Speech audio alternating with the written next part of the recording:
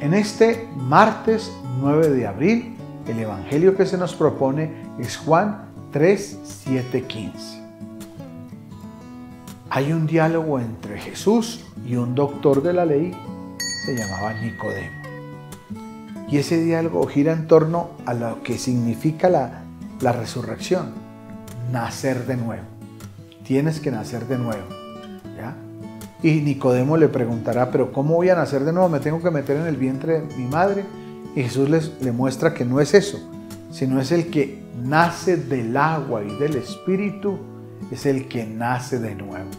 El que cree en Jesús, vivo y resucitado. El que cree en Jesús, el Hijo de Dios, que viene del cielo, ¿ya? El que nos abre las puertas del cielo, el que cree en Él, ese empieza a tener vida eterna. Eso es nacer de nuevo. Tú y yo queremos siempre empezar de nuevo.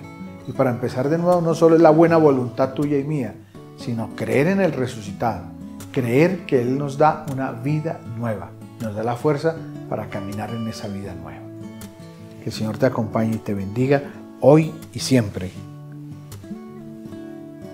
Amén. Te agradezco mucho tus palabras, tus saludos, eh, que nos sigas en las redes sociales. Gracias por estar con nosotros.